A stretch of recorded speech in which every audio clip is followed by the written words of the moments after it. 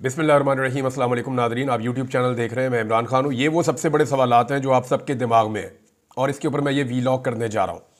सबसे पहले तो थोड़ा सा अमेरिकन इलेक्शन को देख लेते हैं। उसने पूरी दुनिया के लिए एक नई सिचुएशन पैदा कर दी। सूरत हाल वैसी नहीं है जैसी दुनिया के लिए एक दिन पहले तक थी। चौबीस घंटे में बहुत कुछ बदल चुका है। और एक ऐसा इलेक्शन जिसकी आ, सारी की सारा जो दुनिया का मीडिया था या आलमी मीडिया था जितनी मीडिया की ताकत है जितनी इस्टेब्लिशमेंट की ताकत है उसको इस्तेमाल किया गया।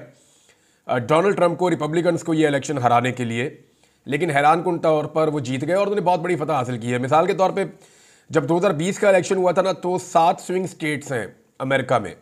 उन सात में से छः में जो बाइडन जीत गए थे इलेक्शन लेकिन इस मरतबा जो है, उस वक्त सिर्फ़ एक स्टेट थी जहाँ पे नॉर्थ कैरोलिना वहाँ पे ट्रंप ने जीता था। सात में से सिर्फ़ एक जीती थी। इस मरतबा तकरीबन सारी जीत ली हैं डोनाल्ड ट्रंप ने। तो स्वीप किया है सिचुएशन बहुत मुख्तलिफ़ हो गई है। और दुनिया के लिए तो हुई है, लेकिन पाकिस्तान के लिए बड़ा प्रॉब्लम हो गया। पाकिस्तान की इस्टेब्लिशमेंट के लिए और पाकिस्तान की हुकूमत के लिए। ये प्रॉब्लम पाकिस्तान की इस्टेब्लिशमेंट और हुकूमत के लिए क्यों है? और ये बहुत सारी जगहों पे ये बेचैनी क्यों पैदा हो गई है? ये आपको नज़र आ रही होगी हमारे कुछ सहाफ़ियों के ट्वीट्स के अंदर, कुछ उनके चेहरों के तासुरात आप देखकर। जहाँ ट्रांसमिशंस की जा रही थी टीवी चैनल पे, वहाँ पे आपने उतरे हुए, लमके हुए चेहरे भी देखे होंगे। ये सारा कुछ क्यों हो रहा है?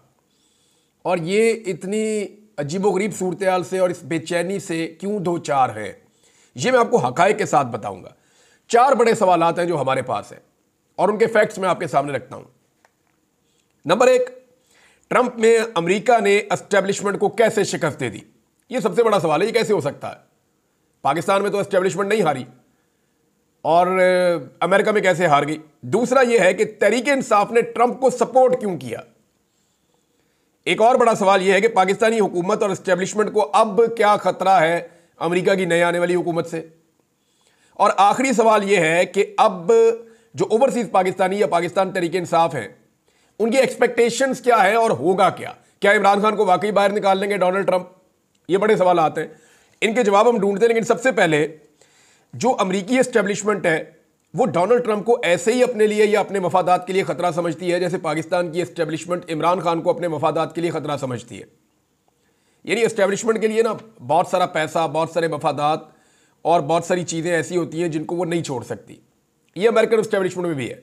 तो डोनाल्ड ट्रंप ने उन चीज़ों में जाकर छेड़छाड़ की, जहाँ पे एस्टेब्लिशमेंट को लगता था ये उनकी रेड लाइन है, इसको नहीं छेड़ना चाहिए। डोनाल्ड ट्रंप नई पॉलिसीज़ लेकर आया। और उसने बहुत सारी ऐसी चीज़ें पकड़ी जहाँ पे उसने कहा, यार, ये तुम्हारा काम नहीं है, ये नहीं करना चाहिए, इस पॉलिसी को ठीक करो। तो एस्टेब्लिशमेंट को लगा कि उनकी रेड लाइन क्रॉस हो रही है।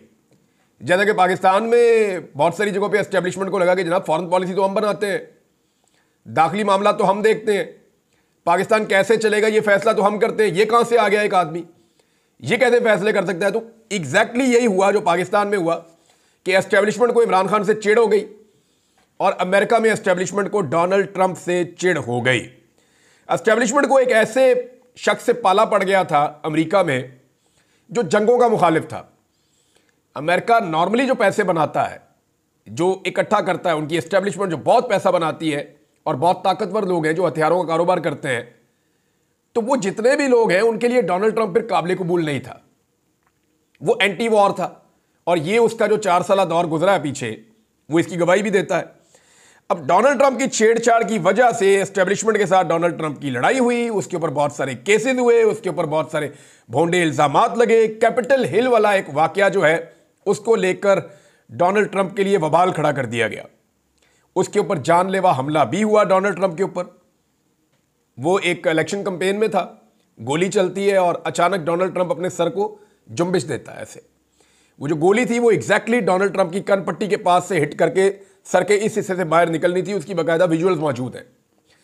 लेकिन सडनली डोनाल्ड ट्रंप ने बात करते हुए अपने सर को ऐसे झटका दिया कि जिस वक्त उसने गोली का ट्रिगर दबाया शूटर ने तो वो गोली डोनाल्ड ट्रंप के कान को छीद कर निकल गई। यहाँ चोट लगी डोनाल्ड ट्रंप को। और लगी ली वो बच गया। जिसको अल्लाह रखे, उसे कौन चखे? तो डोनाल्ड ट्रंप की ज़िंदगी बड़ी हुई थी और वो वहाँ से बचकर निकल गया। हालाँकि वो सबसे जानलेवा हमला था। डोनाल्ड ट्रंप ने हमला होने के बाद अपने औसान खता नहीं होने दिए। वो खड़ा हुआ, उसने मुक्का लहराया। यही काम इमरान खान ने किया था, आपको याद होगा। बहुत सारी सिमिलैरिटीज हैं। यही सारा कुछ इमरान खान के साथ हुआ पाकिस्तान के अंदर। इमरान खान पे केसेस बने, भोंडे इल्ज़ाम लगे, इद्दत वाला केस बन गया। पर थोड़ा फ़र्क यह है कि यहाँ की एस्टेब्लिशमेंट ने नौ मई को लेके वो कुछ कर दिया जो कैपिटल हिल पे, वहाँ अमेरिका पे उस तरह से नहीं हुआ। वहाँ तो उन्होंने निकाली जी फुटेज निकाली, ये वाला आदमी जिम्मेदार है, इसको फिक्स करो बस। यहाँ तो दस हज़ार बंदा स्टेब्लिशमेंट ने पकड़ लिया। पुलिस ने दिहाड़ियाँ लगाना शुरू कर दी। तो पूरा निज़ाम ही इस काम पर लग गया। इमरान खान ने डोनाल्ड ट्रंप की नस्बत दस गुना ज़्यादा तकालीफ बर्दाश्त की। इमरान खान को गोलियों से जो जख्म पहुँचे, वो भी ज़्यादा खौफनाक थे। और वो मरते मरते बचे इमरान खान भी। डोनाल्ड ट्रंप जरा ज़्यादा लकी था, वो अपनी कंपेन जारी रख सका। दूसरा, इमरान खान साहब के ऊपर केसेस ज़्यादा बने और उनको जेल में डाल दिया गया। ये भी एक फ़र्क है। अगर आप गौर करें तो इमरान खान और डोनाल्ड ट्रंप के हालात जो है, वो मिलते जुलते हैं। और डोनाल्ड ट्रंप ने क्या किया? और इवन इमरान खान साहब के साथ भी यही हुआ। डोनाल्ड ट्रंप ने ये जो स्टेब्लिशमेंट की मुखालफत थी, इसको अपना हथियार बना लिया। और उसने इसकी बुनियाद के ऊपर इलेक्शन लड़ना शुरू किया और अमेरिका में उसको मकबूलियत मिल गई। अब अमेरिका में डोनाल्ड ट्रंप के पास मकबूलियत तो थी, कबूलियत नहीं थी। यहाँ इमरान खान के पास भी मकबूलियत थी, कबूलियत नहीं थी। इमरान खान ने भी यही किया कि उनके साथ ज्यादती हो रही है। क्या स्लोगन था पाकिस्तान तरीके इंसाफ का 2024 के फरवरी के इलेक्शन में जुल्म का बदला वोट से। याद आया आपको? एक्चुअली इमरान खान साहब ने इस एस्टेब्लिशमेंट के सारे जुल्म को अपनी कंपेन बनाया था कि जुल्म का बदला वोट से। इसी तरह डोनाल्ड ट्रंप ने भी एस्टेब्लिशमेंट की मुखालफत को अपनी कंपेन बना लिया कि हमने इनको शिकस्त देनी है। और वहाँ पे डोनाल्ड ट्रंप ने एस्टेब्लिशमेंट को शिकस्त दे दी। सारा कुछ एक जैसा ही है, लेकिन कुछ चीज़ों का फ़र्क है। डोनाल्ड ट्रंप के साथ अमरीकी एस्टेब्लिशमेंट ने जितनी भी मुखालफत की कुछ हदूद हैं जिनसे वो बाहर नहीं निकले। कुछ चीज़ें हैं जिन्हें उन्होंने क्रॉस नहीं किया। लेकिन पाकिस्तानी एस्टेब्लिशमेंट ने उन चीज़ों का पास नहीं रखा। अब फ़र्क क्या है? जरा मैं आपको बता देता हूँ। नंबर एक ट्रंप ने अपनी इलेक्शन की कंपेन खुद की है। इमरान खान जेल में, उनकी सिर्फ़ एक फ़ोटो बाहर आई थी। वो अपनी इलेक्शन की कंपेन भी नहीं कर सके। नंबर दो ट्रंप ने और उनकी पार्टी ने जलसे भी किए और जुलूस भी निकाले। पाकिस्तान तरीके इंसाफ पे मुकम्मल पाबंदी थी, ना वो जलसा कर सकते थे। ना वो जुलूस निकाल सकते थे। ट्रंप के लोगों को नायल नहीं किया गया। इमरान खान साहब के लोगों को जो है वो नाहालियों का सामना करना पड़ा। फिर रुकावटें नहीं डाली गई ट्रंप के रस्ते में। यहाँ पे कागजात नामजदगी तक पाकिस्तान में छीने गए। फिर डोनाल्ड ट्रंप के लोग अपने झंडे रिपब्लिकन के पोस्टर्स, डोनाल्ड ट्रंप के पोस्टर्स और ये सारी चीज़ें उठाकर जहाँ दिल करता था लगाते थे, जाते थे। लेकिन पाकिस्तान तरीके इंसाफ का झंडा कहीं नज़र नहीं आ सकता था। ना इमरान खान की फ़ोटो कहीं नज़र आ सकती थी। फिर डोनाल्ड ट्रंप के खिलाफ वहाँ की एस्टेब्लिशमेंट ने पूरा मीडिया खड़ा कर दिया। लेकिन उस मीडिया ने डोनाल्ड ट्रंप के खिलाफ होने के बावजूद डोनाल्ड ट्रंप को दिखाया भी, उसका मौकफ सुनाया भी, चाहे मनफी किया। लेकिन यह पाबंदी नहीं थी कि आपने इसकी शक्ल ही नहीं दिखानी। पाकिस्तान में मीडिया पे मुकम्मल बाइकआउट हो गया इमरान खान का। फिर दूसरा इमरान खान के साथ ये हुआ कि उनके जो सोशल मीडिया के एक्टिविस्ट हैं, जब मीडिया ने काम खराब किया तो सोशल मीडिया पे वो भी गिरफ़्तार होना शुरू हो गए। अमेरिका में ऐसा कुछ नहीं हुआ। फिर जो टीवी चैनल्स इमरान खान को सपोर्ट कर रहे थे, वो मालिकान से टीवी चैनल ही छीन लिए या उनको धमकाया गया, या उनके कारोबार को तबाह किया गया, या उनको संगीन नतज की धमकियाँ दी गई। अमेरिका में ऐसा नहीं हुआ। जो टीवी, फॉक्स न्यूज़ अगर ट्रंप को सपोर्ट कर रहा है तो कर रहा है फिर। स्टैब्लिशमेंट इसके अंदर नहीं घुसी। इस लेवल तक नीचे नहीं गई। अमेरिका में कोई भी जबरी तौर पर लापता नहीं हुआ, इस कंपेन में। पाकिस्तान में बेशुमार लोग जबरी तौर पर लापता हुए, सहाफ़ी भी हुए, जो है वो वकला भी हुए, और यहाँ पे पाकिस्तान के अंदर जो है वो शायर तक हुए। मैं खुद इसका शिकार रहा हूँ। अमेरिका में कोई इकवा राय बयान भी नहीं हुआ। पाकिस्तान में बेशुमार आपने देखे इकवा राय बयान हुए। फिर वहाँ पे वफादारियाँ तब्दील नहीं करवाई गई। डोनाल्ड ट्रंप के बंदे नहीं तोड़े गए। यहाँ इमरान खान के बंदे भी तोड़े गए। वहाँ की किसी अदालत ने डोनाल्ड ट्रंप से इंतबी निशान नहीं छीना। पाकिस्तान में इमरान खान से इंतबी निशान भी कादी फायदीसा ने छीन लिया। वहाँ की अदालत ने यह कहा कि यह अवाम का हक छिन जाएगा, डोनाल्ड ट्रंप इलेक्शन लड़ेगा और उसको पूरी तरह अलाउ किया। यहाँ इमरान खान को नायल कर दिया गया, उन्हें इलेक्शन नहीं लड़ने दिया गया, बल्कि उनका इंतबी निशान भी छीन लिया गया। अमेरिका में इंटरनेट, मोबाइल फ़ोन, ये सारा कुछ चालू रहा। पाकिस्तान में ये सारा कुछ बंद हो गया। अमेरिकन इलेक्शन के दौरान जो सहाफ़ी वहाँ पे कवरेज कर रहे थे, उनमें से कुछ से मेरी बात हुई, वो कह रहे थे कोई खौफ व हरास नहीं था। पाकिस्तान में 8 फरवरी 2024 को पूरा खौफ और हरास का माहौल बनाया हुआ था। अमेरिका में रिज़ल्ट नहीं रोके गए, लगातार रिज़ल्ट आते गए और पता चल गया कि कौन जीता। पाकिस्तान में रिज़ल्ट रुक गए थे एक सर्टन टाइम पीरियड के बाद जब पाकिस्तान तरीके इंसाफ 180 सीटें जीत रही थी। दो तिहाई से ज़्यादा अक्सरियत हासिल कर रही थी। पाकिस्तान तरीके इंसाफ उस वक्त रिज़ल्ट रोक लिए गए पाकिस्तान में। और फिर रिज़ल्ट तब्दील करने के लिए सिकंदर सुल्तान राजा को बुलाया गया, गेम डाली गई बड़े बड़े लोग बैठे। एक कमरे के अंदर चंद लोगों ने बैठ के पाकिस्तान का मुस्तबिल ही बदल दिया। अमेरिका में कोई जाली फार्म 47 फार्म 45 कोई टेम्परिंग कोई जाली वोट, कोई रिकाउंटिंग के अंदर बहुत सारे वोट ट्रंप के जाली कर देना, ये चीज़ें नहीं हुई। पाकिस्तान में ये सारा कुछ किया गया। अब जो डोनाल्ड ट्रंप को विक्ट्री मिली, वो एक वाजे विक्ट्री है।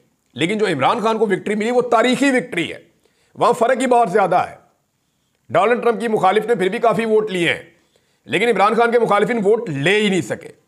अमेरिका में अवामी मैंडेट की बिलाखिर फतह हो गई और पाकिस्तान में अवामी मैंडेट को पाकिस्तान के इदारों ने शिकस्त दे दी। तो अब अमेरिका में आ गया जनाब ट्रंप और पाकिस्तान में इमरान खान का रास्ता रोक दिया गया है।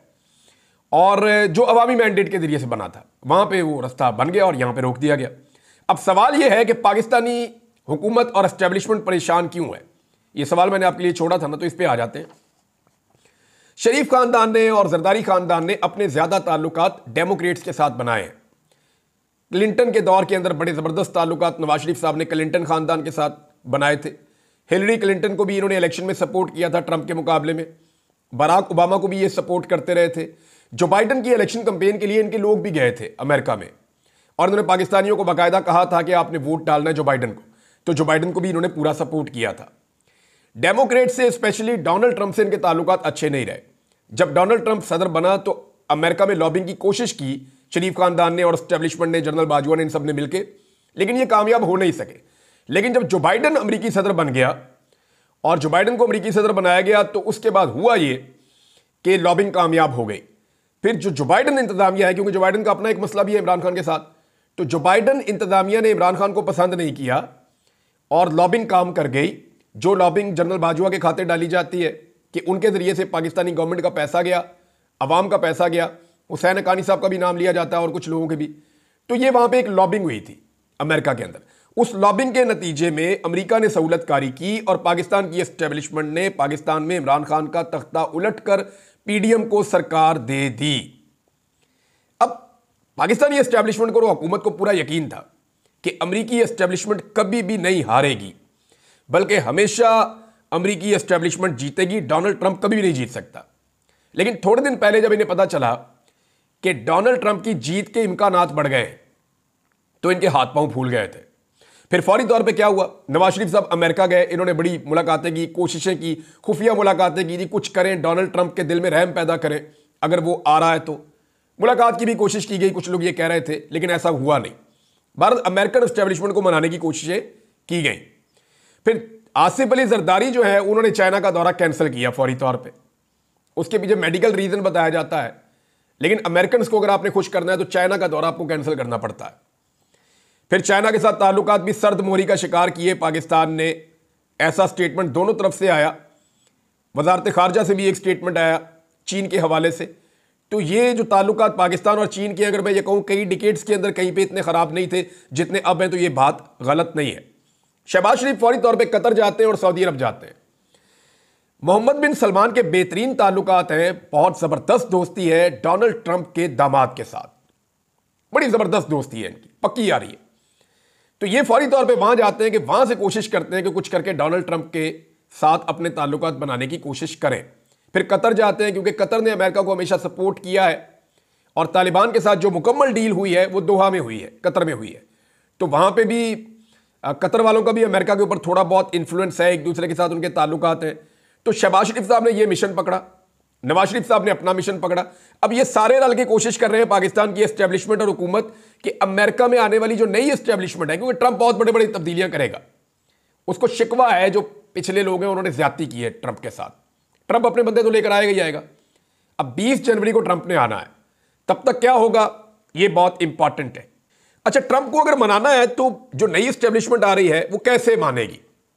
और किस चीज़ पे मनाया जा सकता है? मिसाल के तौर पे ये चाहेंगे कि इमरान खान साहब जो है, उनको फ़िलहाल वो हुकूमत हमारी ना गिराएँ। इमरान खान जो है, वो हमारी जान उससे बच जाए किसी तरह। हम उससे महफूज रहें। ये अवामी गैज़ो गज़ब का हम शिकार ना हो। यही चीज़ें चाहेंगे ना? तो इसमें क्या अमेरिकन स्टैब्लिशमेंट मदद करेगी? उसके बदले में बहुत बड़ी चीज़ें मांगेगी वो। हो सकता है वो पाकिस्तान को ये कहें और मोहम्मद बिन सलमान के ज़रिए से कहें कि आप इसराइल को तस्लीम कर दें। बहुत मुमकिन है वो ये कह सकते हैं। और ये उनकी ख्वाहिश भी है, और वो इसके बारे में इशारे भी दे चुके हैं, और डोनाल्ड ट्रंप ये चाहते भी हैं। क्योंकि जेरेड कुश्नर जो है, वो माजी में इसके लिए रोल प्ले कर चुका है, और वो सऊदी अरब से भी बड़े positive statement Mohammed bin Salman से एक दौर में दिलवा चुका है। तो अब अगर आप इस चीज़ को देखें कि हुकूमत क्या अमेरिका के बड़े बड़े मुतालबात इमरान खान से बचने के लिए मानने की, ये एक बड़ी अजीब सिचुएशन है, यहाँ पब्लिक नहीं छोड़ेगी इन्हें। तो ये फंस गए, बहुत बुरी तरह फंस गए हैं। डोनाल्ड ट्रंप इनके किसी प्लान का हिस्सा ही नहीं था। इन्हें आइडिया ही नहीं था कि डोनाल्ड ट्रंप किसी वक्त आ जाएगा। अब मामला यह है कि जितना ये वक्त गुजार लेंगे, उतना मुश्किल होता जाएगा। क्योंकि जितना वक्त आगे बढ़ता जाएगा, उतना मुश्किल होता जाएगा। इमरान खान को अगर मिलिट्री कोर्ट में डालना है तो इनको फ़ौरन डालना पड़ेगा। या कुछ भी करना है तो फौरी तौर पे करना पड़ेगा। यही टाइम है इनके पास। डोनाल्ड ट्रंप के आने से पहले पहले या उनकी पॉलिसीज़ इंप्लीमेंट होने से पहले पहले इनको बहुत सारी चीज़ें करनी होंगी। पीटीआई ने डोनाल्ड ट्रंप को क्यों सपोर्ट किया जी? ये सवाल है ना, बहुत सारे लोग पूछ रहे हैं। जिस तरह सारे पाकिस्तान के मीडिया ने कमला हारिस को सपोर्ट किया, जैसे पाकिस्तान की सारी सियासी जमातों ने जो है वो डेमोक्रेट्स को सपोर्ट किया, ऐसे पीटीआई ने ट्रंप को सपोर्ट किया, क्यों किया? उसकी चंद वजूहत है। नंबर एक ये है कि पीटीआई ने देखा कि ट्रंप को और इमरान खान को एक जैसे हालात का सामना है। तो जब एक जैसे हालात होते हैं ना दो लोगों के तो ऑटोमेटिकली एक दूसरे के लिए हमदर्दी हो जाती है। नंबर एक वजह यह है। नंबर दो वजह यह है कि पाकिस्तान तरीके इंसाफ के लोग ये समझते हैं। इमरान खान साहब ने जो नैरेटिव बनाया उसके बाद कि जो बाइडन जिम्मेदार है, जो कुछ भी इमरान खान के साथ और पाकिस्तान तरीके इंसाफ के साथ हुआ, अगर बर रास्त जिम्मेदार नहीं भी है, तब भी जो बाइडन की एक पुरसरार खामोशी या उनकी नीम रजामंदी, उसके बाद पाकिस्तान की एस्टेब्लिशमेंट ने इमरान खान के साथ ये सारा कुछ किया है। तो दूसरी वजह यह है तीसरी वजह यह है कि पाकिस्तान तरीके इंसाफ के लोग और ओवरसीज पाकिस्तानियों ने कैमला हैरस से और डोनाल्ड ट्रंप से अलग अलग मुलाकातें की थी। और उन दोनों से इस बारे में पूछा था कि पाकिस्तान में जमहूरियत के लिए, आज़ादी इजहार राय के लिए और रूल ऑफ़ लॉ के लिए और इमरान खान की आज़ादी के लिए और जो जुल्म और ज्यादती वहाँ पे हो रही है उसको रोकने के लिए आपकी क्या पॉलिसी है? तो कमेला हारिस जो है वो मुतासर नहीं कर सकी पाकिस्तानियों को। जबकि डोनाल्ड ट्रंप ने उस पर क्लियर मौक़ लिया था कि मैं आपके मौक़ के साथ खड़ा हूँगा। तो फिर उन्होंने फैसला किया जी, हम तो वोट डालेंगे। डोनाल्ड ट्रंप को इसलिए उन्होंने सपोर्ट किया। तो पाकिस्तान तरीके इंसाफ की सपोर्ट की वजह तो समझ आ रही है। और हुकूमत की जो सपोर्ट थी, डेमोक्रेट्स की उसकी वजह भी समझ आ रही। है लेकिन अब ट्रंप को इन्होंने माजी में इतनी गालियाँ दी हुई हैं। चाहे वो एहसन इकबाल है, चाहे ख्वाजा आसिफ है, चाहे बिलावल जरदारी है, चाहे मरीम नवाज़ है, चाहे ये बाकी सारे हैं। ये लटरम पटरम सारे जो हैं, इन्होंने ट्रंप को बहुत बुरा भला कहा हुआ है माजी में। सारे अपनी अपनी ट्वीटें बेचारे डिलीट कर रहे हैं। यानी अपने उस मौकफ के ऊपर, अपनी इस बात के ऊपर आज ये खड़े ही नहीं रह पा रहे। सब अपना अपना मुँह काला कर रहे हैं, अपनी अपनी ट्वीटें डिलीट कर रहे हैं, अपने अपने बयान जो है, उनको हटाने की कोशिश कर रहे हैं। लेकिन सोशल मीडिया में पाकिस्तान तरीके इंसाफ की फोर्स सबसे तगड़ी है। वो धड़ाधड़ उठा के स्क्रीनशॉट लेके लगाई जा रहे हैं। और इतना तो रोला पड़ना ही नहीं था जितना डिलीट करने के बाद रोला पड़ गया है। अब ओवरसीज पाकिस्तानियों और क्या पाकिस्तान तरीके इंसाफ को ट्रंप से ज़्यादा उम्मीद रखनी चाहिए? इसके ऊपर मैं वीलॉग बाद में करूँगा। लेकिन एक चीज़ मैं जाते जाते बता दूँ कि ओवरसीज पाकिस्तानियों की बड़ी ज़िम्मेदारी अब शुरू होगी कि अगर डोनाल्ड ट्रंप इलेक्शन जीत गया है तो वो कैसे आने वाली अमरीकी हुकूमत को कायल करेंगे कि पाकिस्तान में मुदाखलत बंद करें और इमरान खान और उनकी पार्टी को पीसने की जो पॉलिसी है, उस पॉलिसी को तर्क किया जाए। ये उन्हें करना पड़ेगा और उसके लिए इन्हें बहुत सारी एंगेजमेंट करनी होगी अमेरिकन इंतजामिया के साथ। अब तक के लिए इतना ही। अपना ख्याल रखिएगा अपने इस चैनल का भी। अल्लाह हाफिज़।